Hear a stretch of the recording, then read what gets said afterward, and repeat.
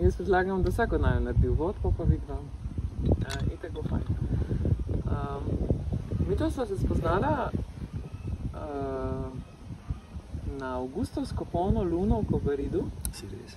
Na enem letnem srčnem dogodku. Res je, ja.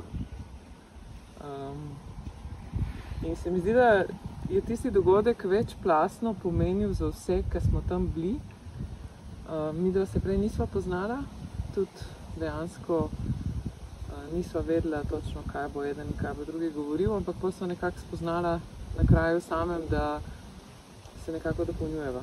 Ja, jaz sem videl po flyerju, da boš ti govorila o žensko-moških odnosih in sem rekel, ok, jaz moram potem nekaj na drugo temo narediti, ker verjetno tega dovolj, ne? čeprav tega ni nikoli dovolj. Tega je toliko še in toliko stvari je še zapovedati na to temo, da dejansko lahko sedela ure in ure in razglabljala in delila svoje mnenja.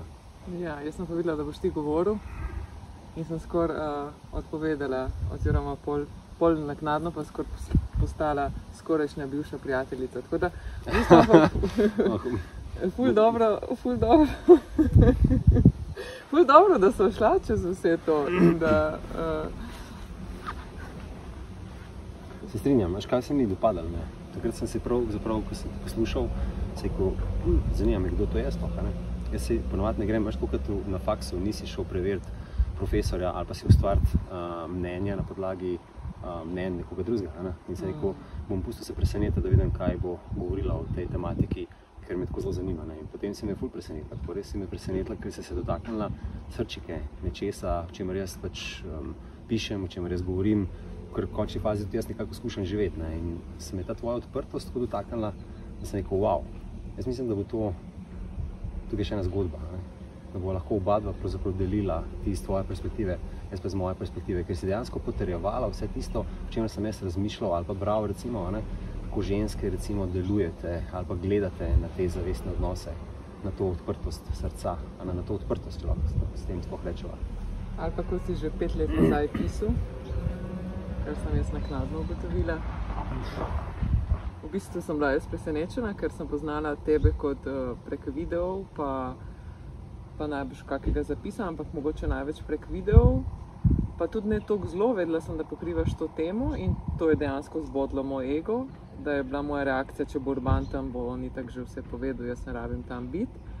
Um, kdo sem jaz, da bom to govorila, če je tak speaker na dogodku. Um, in potem sem po tistem dogodku uh, brala dve tvoji knjigi in dejansko bila presenečena, dejansko presenečena, ker sem imela občutek, da na trenutke berem sebe. Hm. Tako da, ful zanimivo, da ko si pa ti slišal mene, si mislil, mislim, si začutil, da Zelo podobno. ja, Zelo podobno, kot da ženska govori ali pa čuti ali pa razmišlja o teh stvareh, ki jih jaz kot moški nekako razmišljam ali pa predajam naprej. Potem včasih nisem, um, ta verodostojnost je tista, ki se včasih bolj čuti, ko pride um, od nekoga, ki je recimo istega spola. ja. Verjetno bom jaz zelo težko govoril kakšne stvari o menstrualnih ciklih in odprtosti ženskega srca, že samo zaradi tega, ker nisem ženska. Ne? Čeprav lahko seveda o tem govorim. Ampak um, ta verodostojnost se je res začutila v tvojem uh, načinu podajanja teh informacij. Sploh, ker si dejansko res prišla popolnoma nepripravljena za kakšno koli predavanje, ampak si samo usedla se, si vdihnila, videla, kakšna je publika in si, si dala duška. ne. In si začutila, da ti pač ljudje so držali prostor in si, in si, si govorila. Si govorila. Super, da je tako izgledalo. Dejansko pa uh, ne, absolutno se ne pripravljam na stvari, da bi se usedla, spisala in potem naučila, ker sem slaba v tem, da se učim na pamet že iz osnovne šole, ker mi dejansko zgleda, da morajo stvari iz mene prihajati. Um, ukvarjala sem se s tem, kaj bom povedala in kako absolutno. Predvsem pa, um, jaz ko pišem, se stvari rodijo v meni in se povežem in potem zlijem stvari iz sebe. In ko morajo ven, morajo ven. Ko je treba pač nekaj roditi, je treba nekaj roditi. Tukaj je pa tako, ne, ne poznaš okolja, ne poznaš publike. Um, predavala sem že prej, tudi na to temo ali pa na podobno temo, ampak predvsem, kar sem druge stvari predavala, so bile pa pač strokovno. ne. iz mojega poklica, ki ga upravljam. In um, pa čist službeno. Uh, tako da potem pa ne želim pa se pripraviti, zato ker se želim povezati s srcem in se želim povezati s publiko. Zato ker če verjamem, da vse, kar, ima, vse, kar rabimo, pa vse, kar imamo, nosimo že v sebi, potem je prav, da samo sebe dam v celoti, tisti trenutek tam.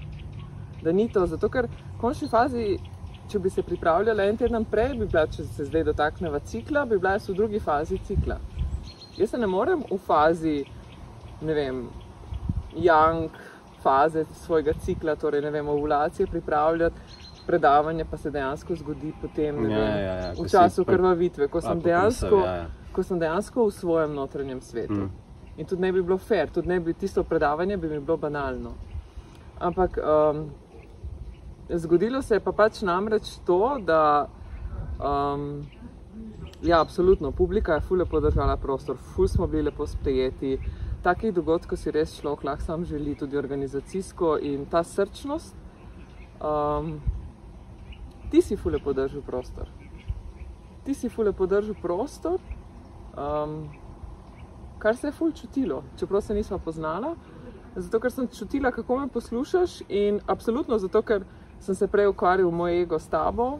Um, jasno je, da pač povem tako, kot je, zato ker to, to sem jaz. Mm. In ne bom zdaj tukaj, zato ker snemava, uh, se nekaj sprenevedala. Ampak dejansko se je moj ego ukvarjal s tabo, da si pač ti prepoznan speaker z tega področja in sem morala iti čez ene stvari.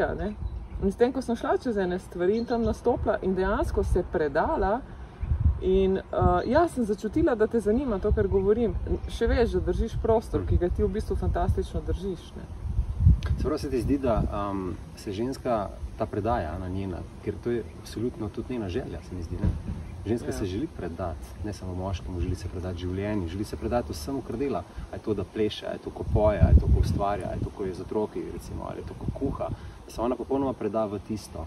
Se pravi, da se ne pripravlja na to, ampak da spusti nekako življenje skozi sebe, a ne, da dopusti realnosti, da skozi njo deluje in potem ona zapleše ta ples teh energij, ki se skozi njo pretočijo. Če seveda čuti, na drugi strani, recimo, najprej, če čuti svojega notranjega moškega, da njej prostor drži, se pravi, da se ona sama sebi to sploh dovoli narediti. Ne? Uh -huh. Ker velikrat smo mi sami sebi največji saboterji, a ne? mi si ne dovolimo izraziti, ne dovolimo si.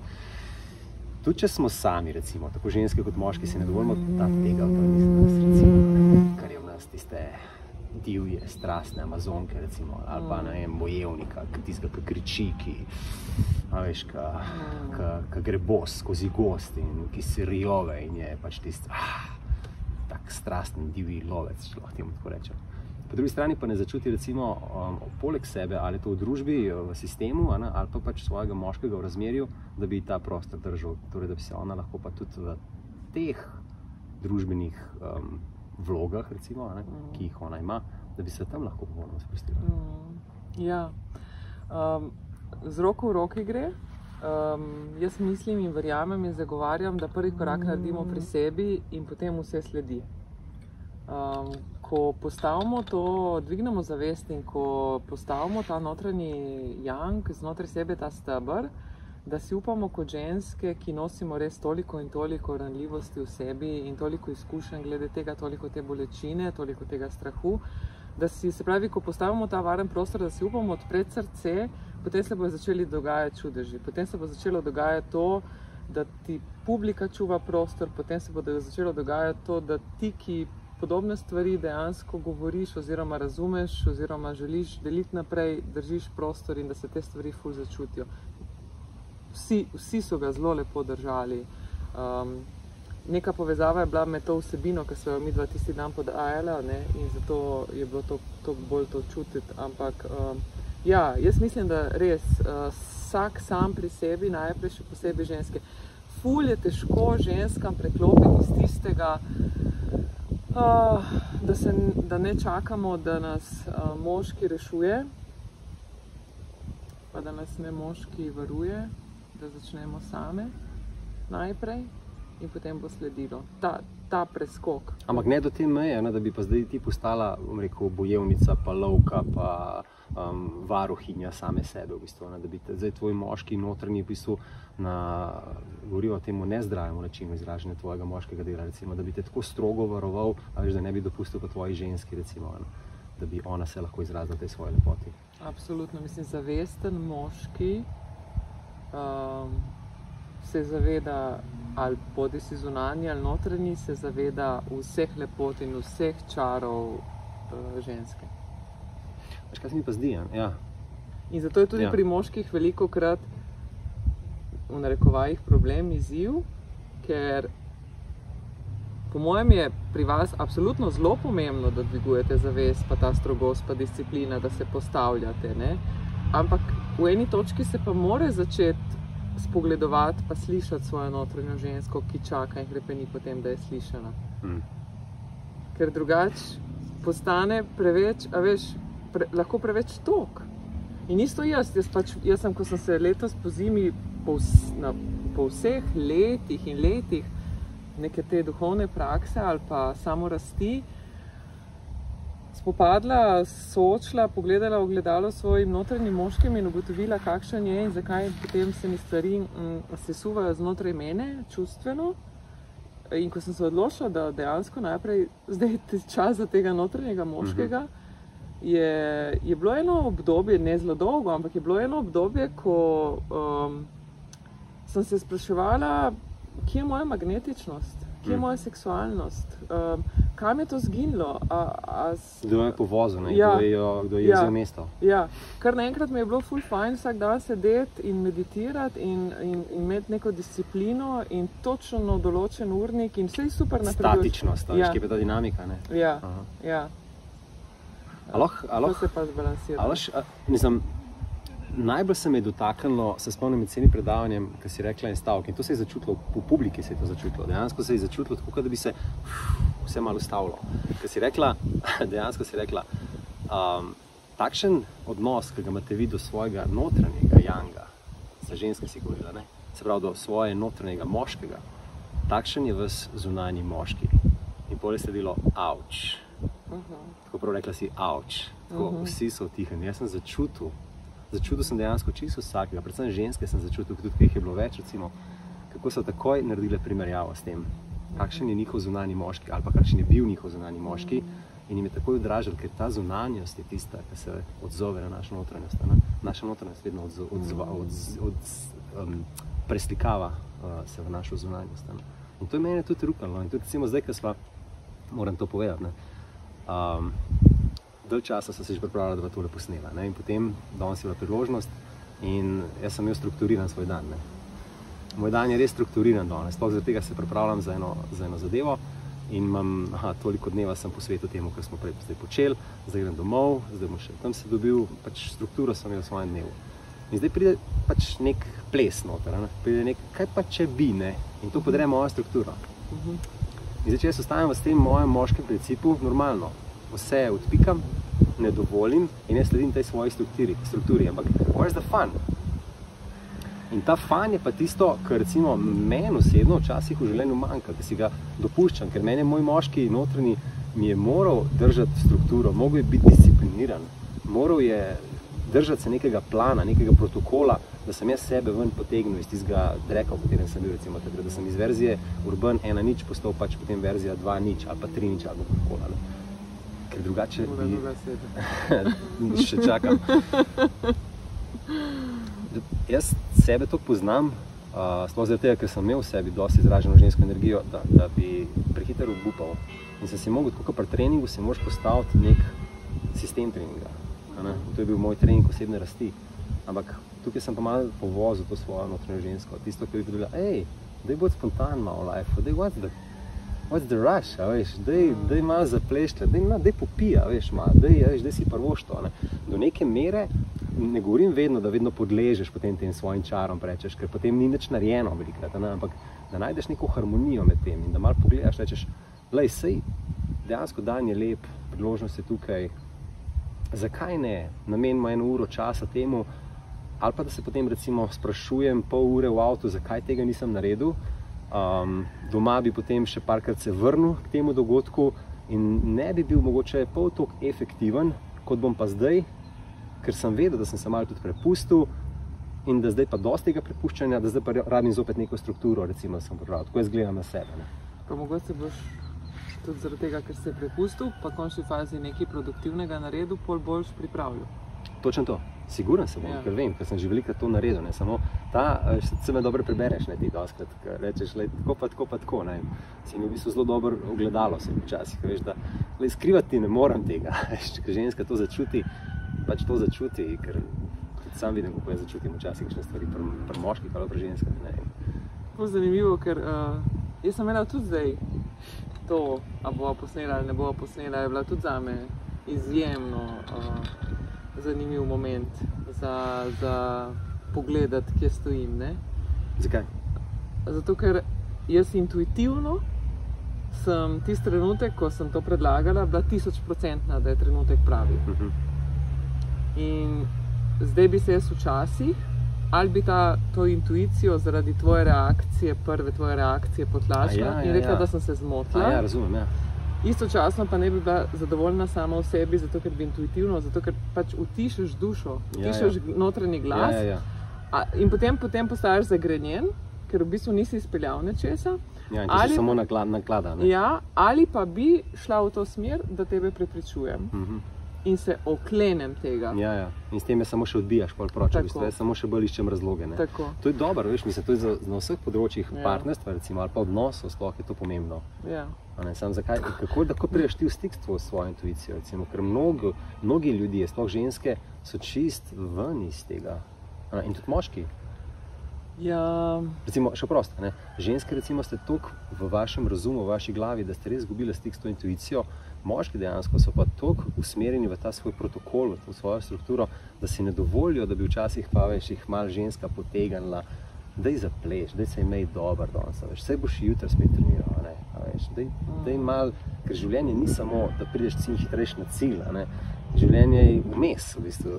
zgodi se med vdihom in izdihom, oziroma med vdahom in izdahom. a ne. In tam vmes se dogaja, tako kot tango. Tango se zgodi med enim in drugim korakom. Ne. In da to mi pozabljamo, mi bi radi čim prej prišli v drug korak in v naslednji korak in do konca plesa in do bančnega računa, kaj tak in do keša in do vsega. med prepuščanjem in hrepenenjem je čarovnija. Tisti trenutek vmes. Kaj pa delo na sebi, recimo, vseeno.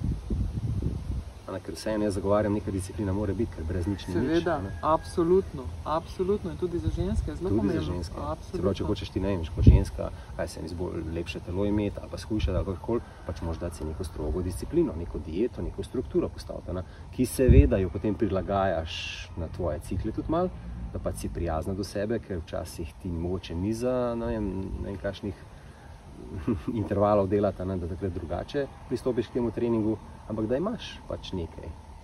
Po drugi strani pa najprej ugotoviti, kaj ti ni všeč, pa zakaj ti ni všeč. Ali so zato, ker je to podoba Instagrama drugačna, Mhm. ali zato, ker ti je nekdo to rekel, ali zato, ker si sama prepričana. Potem Ja, okej. ugotoviti, ugotoviti, odkot to izhaja, Okej. pa čigava so to merila. Recimo. Okay. Okay. Potem pa absolutno ne samo začeti čistko fizično, mehansko, ampak ugotoviti, kaj je z emocijami. Mhm. Ker veliko krat tudi jemo zaradi tega, ker je pač pomankanje emocij. Mm. Naprimer, Mhm. Imam dobro idejo zdaj na to, toč na to istočnico. Ne, a boš nadaljevala še, prosim? Da sem te um, prekinul, prost. ne vem, kaj sem. Vem, kaj Je sem. to, da, v bistvu, da, da, da smo v stiku s svojimi čustvi, a ne? da vemo, da včasih mogoče te stvari delamo tudi zaradi tega, ker polnimo en del sebe. V bistvu. Da skušamo bežati recimo, od nečesa, s čimer se nočemo soočati. Tako z vsemi zasvojenostmi, Ja. oziroma z vsemi temi, pač, vse, kar pač po, po Mm. čemer posegamo. Ja. Um, res se mi je dobra istočnica zelo vmes pripeljala. To, kako, a veš, moški želimo to praznino doseči. ne. Mi želimo čim prej upraviti stvari, da je potem konec, da imamo potem mir. Veš, da potem se lahko usedeš za konec dneva na kavč ali pa se uležeš pred televizijo in samo preklaplaš. a Veš, to je zdaj stereotipno govorimo, ne, čist tipično, jaz sam nimam niti televizije doma. Ampak tista podoba moškega, ko sedi pred televizijo in preklapla med stotimi kanali in kaj gledaš, nič. Veš, nič ne gledam, samo pač malo preklapljam. Gledam en box, pa potem vidim formulo tam, pa potem gledam atletiko, pa potem malo futbal, pa en film, pa skozi samo malo preklapljaš, ker dejansko ti lahko obstajaš in nič ne delaš. Ne? In to je včasih za ženske fenomen. Po drugi strani pa ženske ne težijo k tej polnosti. In Že če pogledaš, recimo, spolni odnos, moški je tisti, ki se prazni, ženska je tista, ki se polni potem z njegovim semenom ne, ali pa z njegovo ljubeznijo. Ženska prejema, ja. In zdaj, če ona recimo se počuti prazno, potem to ljubezen lahko tudi čokolada nadomesti. Uh -huh. Ali pač hrana, ne? ali pač droga, ali pač um, Ali pač moški. Tudi ne pravi moški. Uh -huh. Seveda, pozornost nekoga, drobtinice pozornosti. Tudi negativna pozornost. ne. Tudi, ker je kot noč. Ignoranca je safar. Tako. Se pravi, da nekdo te res ignorira, tisto, ne da ti tvoje, mislim, vse, delaj, kar hočeš. To je najhujše. Ja. To je, naj, to je za moške najhujše, tudi ne samo za žensko, ona, ker Mm. v bistvu se tudi dotika mojega ženskega dela znotraj. ne. Mm. Ja, to je res tak. In kaj, recimo, ti kot ženska, recimo, kako ti potem začneš to manjko, če čutiš to manjko, ali pa ko si občutila to manjko, kako začneš to vrzel polniti? Um, Včasih čokolado. Redko narobe. kdaj. Ampak red, včasih. ful redko kdaj, ful ni samo čokolade. Ampak pa še kaj, ne. Sladkega? prepovedan ga nekaj takega. Narekovaj.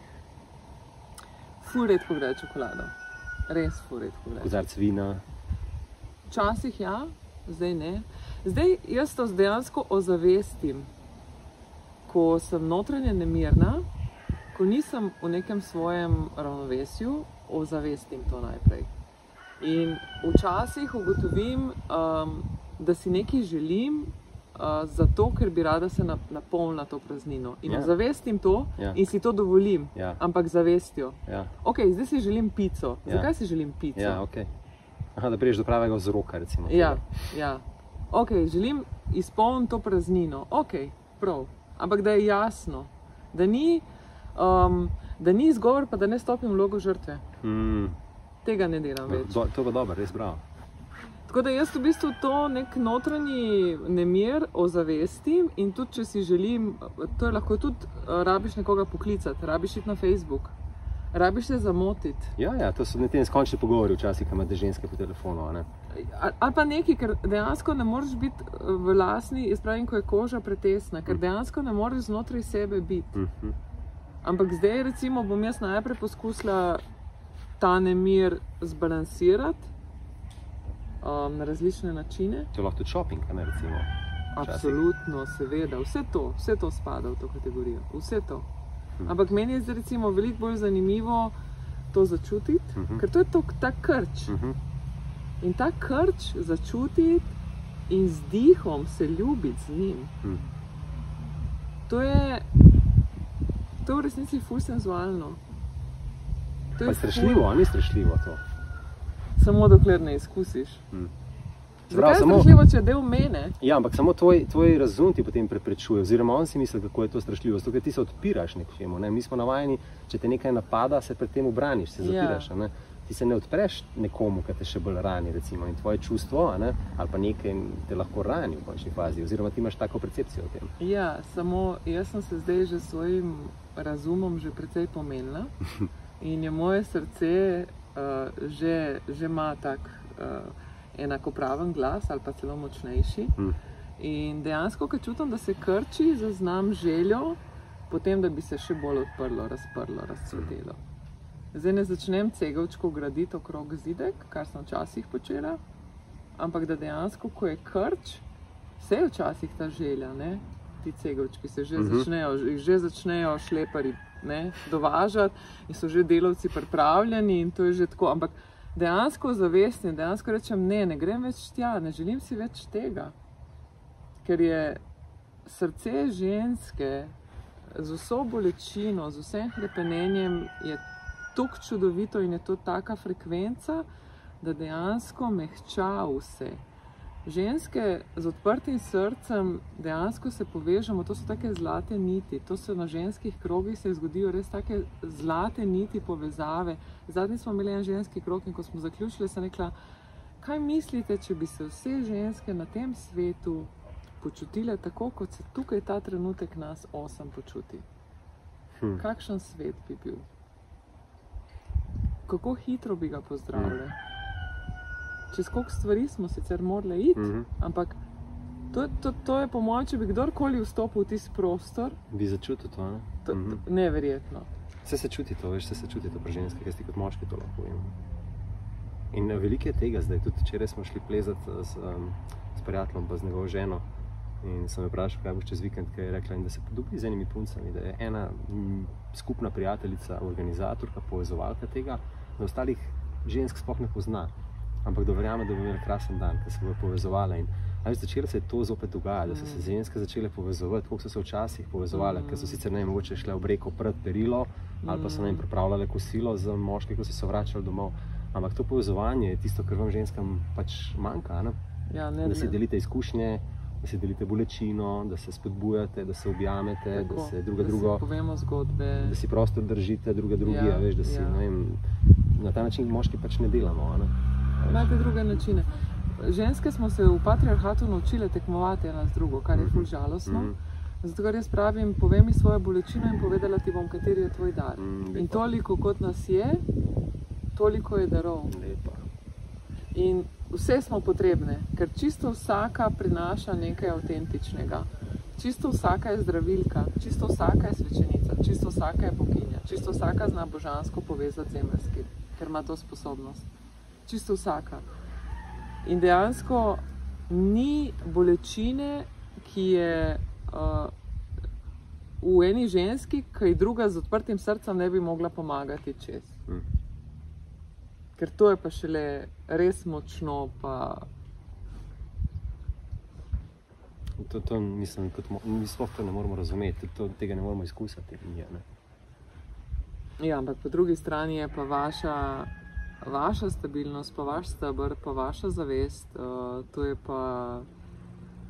Mm, meni je to tako, odkar. Um, Ja, zares spoštujem moške, zato ker so moški, ste moški. Prav zaradi prav dejansko sem doživela uvid, um, da, spoštu, da dejansko spoštujem moške zaradi spola, kar za, bi zase rekla, da ne bi nikoli tega, nikoli, nikoli rekla ali pa čutila. In um, mi je fascinantno. Koliko koliko v bistvu imate težko nalogo, pa koliko ste dejansko kako garate na določenih področjih, da bi spremenili. Um, ja, in se mi zdi, da smo, smo zelo blizu. Hvala za, za to, da to vidiš in da podpiraš to, v bistvu, ker srčno čutim, da to podpiraš. In lahko ti rečem, da ja, na ta način, kot se vi povezujete, se mi ne in se tudi verjetno nikoli ne bomo. Gre pa za to, da imamo te na, na drugačen način povezovanja. In, a, dva meseca nazaj sem na svoji delavnici, četrta delavnica je bila zdaj že, ampak na tretji delavnici sem imel eno krasno skupino fantov, bilo nas je samo pet in smo delali neko vajo utelešanja oziroma izražanja zavesti preko svojega telesa. ne. Ker edino takrat pride zavest do izraza. Veš, ker tebi ne pomaga, če ti znaš to zavest držati v, v jogijskem položaju dve, tri, pet ur zaradi mene. Ne? Če potem te zavesti ne daš v življenje, ženski, odnosu, um, svoji karieri, domu, družini in tako naprej, ne? s, pač svetu. In smo naredili tako vajo, in na začetku je vaja zahtevala od tebe, da potem tudi izraziš tisto prvinskost iz sebe ven. Ne? In na začetku niso mogli moški tega, ker so malo čutili neko blokado. Ne? Pač treba je bilo pač penetrirati v ta prostor, bilo treba penetrirati. Ampak ne samo z roko, roka je samo pripomoček, ampak treba je bilo mentalno, um, emo, emotivno, spiritualno in potem seveda fizično treba ah, penetrirati svojega jedra ven in spustiti pa ten glas. Veš, in sem začutil, koliko moških recimo dejansko imajo z blokado tukaj, ker jim je bilo dovoljeno izražati njim jeze. Oni so to jezo zatirali v sebi noter. Jeza pa strast sta pa dva aspekta res istega principa, tega moškega principa. In če ne znaš ti te jeze svoje izraziti, kako boš ti svojo strast izrazil v svoje ženske? a ne? Moški znajo to jezo potem izražati s tem, da pač pre, pre, pre, prestopijo mejo ponavadi. a ne. In to ni pravi način. Ampak potem, ko sem jih jaz spodbujal po rahlem prigovarjanju, pa res so bili pripravljeni, so potem si eden dal duška in potem dva, tri, štiri, vseh pet je potem, veš, tist, kot tista, um, kaj ima, Novi Zelandiji, ki se pripravljajo mm. -hmm. pred uh, fuzbolom, tista huka, ja, ko se reče. Ne, ja, ja. Ne vem, ja, vem. Znaš, ko so si dali in sem vedno gledal jih čudno, sem rekel, kaj hoče zdaj s tem do- dokazati, fanti. ne, Ampak v bistvu, kako se je takrat ta moška, zdrava energija v prostoru dvigala. Tisto jaz sem začutil, tako smo se med sabo gledali, se rekel, fanti, ste čutili to. Vsi so bili tako, kar, kar malo jim je pot dol pretekel, pa ni vaja fizično naporna, veš. Pot jim je malo dol pretekel, ti zadihani so bili, oni razpaljeni. En ti je rekel, rekel, jaz sem samo sebe videl, jaz nisem meni bilo mar, kaj si drugi v meni mislili. Jaz meni bilo mar, kaj si ti misliš, kaj si mislil. Oh, jaz sem bil tam noter in ker sem jaz tisto videl, jaz sem čutil. Naprej smo celo delavnico leteli smo. Leteli smo, oni so bili z mano, jaz z njimi, jaz sem jim dajal, oni so mi dajali nazaj. Tisti feedback je bil tako delavno, to smo imeli na koncu, dejansko smo se z vsem smo se objeli, tisti pred hvala ti. Veš, sem rekel, tukaj je pa tista spodbuda, ki jo moški, moškemu lahko da. Veš, tisti, da začutiš znotraj sebe to, hej, trden si, stebr si, močen si, ne se ta zavez, da izkusi ta tvoj stebr ven izraža, razumeš? Ne? In ko boš ti tako prišel domov do svoje ženske, ne zdaj, ampak s tem notranjim, veš, mirom. Uf. Nič ne bo treba narediti, le jo, veš, živno, samo, samo da govorim o tem, veš, si že, ja. si si predstavljala v bistvu, wow, to je to. Ja. To je to. Ja. To si jaz pač to želim, da bi pri sebi, a ne seveda, to imel vsak pač trenutku dneva. In po drugi možno. strani, koliko je, koliko je ženskam na Venus jogi, ker nas dejansko naša Nina spodbuja glasnim izdihom. Uh -huh. Kako nas je sram ja, ja, ja. glasno izdihovati. Ja. Ker je senzualnost nekaj, česar se sramujemo. A imitiram to jo. Ej, a, a to res tako strašno? Ja, mislim, ja, je bolj zati musko malo na glas. Ne? Zdaj, jaz pa, pa svojih klientkah včasih rečem, zdaj pa globoko vdihni in na koncu potem ah, izdihni. Mm. Redko katera si upa, sploh zaradi tega, ker je prisotnost moškega. Ne? Seveda, ker kaj si bo pomislil? Ja, seveda, sem se veš, kaj je na prvo. Kaj je na prvo? Vlačuga. Tako. Hor. Ja, absolutno. Na prvo žogo je to. Če ženska uživa v seksu, je vlačuga. Ampak vsak moški ima reči, da ono živi ja, v seksu. Po drugi strani pa, pa so moški skrirali device in vlačuge. Ja, sam njegova ne, ker gre pa k prostitutki, pa ona pa lahko. Ja, no, vse, ampak on je skriral device. Prasec. Ja, boginji je zelo močen, je device in ker ni bil pa zadovoljen, je pošel vlačuge. Ker se je bal, no, zdaj se je bal te ja, nespolne moči, ja. ker kako boš ti žensko popolnoma zadovoljil, vse ne moreš. Lahko daš 20 orgazmov, jo zaviješ v dekco, jo v žličko stisneš, jo poljubiš vse, kaj bo naslednji dan ona rekla, dovolj manj, hvala. Ona bo rekla, še, prosim, še, ker ona se polni. Še, to ne pomeni zdaj, da boš ti, ampak ona želi še. Vse čas želi še. V resnici je vas strah, da bi ženske postale preveč seksualne, vi ne bi zmogli. Ne bi zmogli. Na ta str način jih ne moremo, jih ne bomo zmogli. Ne moreš izmor, ne, ne, zmor, ne zmoreš tega. Tudi recimo, moški se veliko krat uh, žensk pravzaprav res zaradi tega bojijo. Ker dejansko je ona, um, ali pa recimo, ko ženska napali navali včasih na moškega, mm. takrat moški ne more. Mm. Takrat pa on ne more. Mm. Vedno bi, ajde, mm -hmm. skoraj vedno bi. Ampak ko se pa ona recimo, ajde, zdaj sem pa tukaj, da je nared. Upsi. Težko se bojimo. Yeah. Ja. Ta strah je tako zakorenjen v nas. Mm. Mislim, končni vasi tudi vaši, uh, tudi vaše genitalije so bile osramo, mislim, zas, zasmehovane na nek način, s tem, ko pač biti spolni subjekt etiketiran kot spolni subjekt, tudi ni lahko vlogo nositi, ne, to etiketo. Da si pač ti neka mašina, ki skozi bi, pa skozi moreš, pa skozi misliš, skozi ta štempelj, a veš, pa, mm.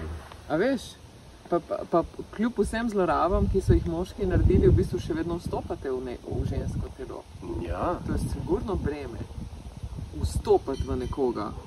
Sej, zgleda, ja, absolutno, ženske se morajo odpreti, ampak moški pa vstopa. In če, no, če si malo odgovoren, pa malo dvignjeno zavestjo, je to tudi neko breme, ki ga po mojem se, se v vas pretaka in ga niste zanemariti.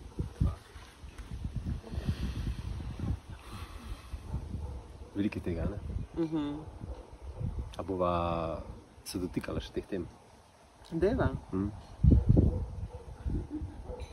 Deva še to, mi je spela naprej. Res. Velja. Zdaj upam, da se bo to slišalo, ker sem zdaj snimila. ker sem šla spontano v to not. Um. Ja, v bistvu škoda, ker nima behind the scenes še eno kamero, ki bi pokazala našo opremo kako je sestavljena, pa kako je zložena. Kaj gledamo tole? Ja, kaj gledamo v bistvu. Uh, zakaj tam leče lada? Ti si jo prinesel ja. kot rekvizit, ki nam bo služil. Pa je star, uh, ena stara, s tem rečeno, obleka za kautor, od moje stare mame še verjetno. Ja, Ne, pa kul cool se znašla. Sem vesel, res, da se se srečala. ja jaz Sem vesel, da se tole speljala. Dej, um, mislim, vse vidim, da bi lahko eh, nadaljevala še nedogled. Mm, si zato, da zdaj le zaključiva to, narediva en Velja. kratek zaključek, Mhm. pa se potem v priliki na razno razne načine še javlja. A bo naredila kakšen question and answers, ali bo naredila kakšen live. Se bo prepustila ženski naravi in malo mogoče moške strukture zraven. tako. Absolutno ne malo. Da bo harmonija, ne, pol, da bo harmonija, pol, ja. da bo harmonija. Brez moške strukture uh, ženska nima kje pristati. Tako da Best. Hvala ti. hvala tebi.